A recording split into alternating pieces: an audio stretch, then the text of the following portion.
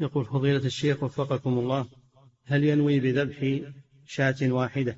ينوي بها أضحية وعقيقة حيث حصل نقاش بيني وبين لا ما يصلح هذا. ما تكون أضحية وعقيقة. الأضحية مستقلة شعيرة مستقلة والعقيقة شعيرة مستقلة. يذبحها إما أضحية وإما عقيقة. نعم.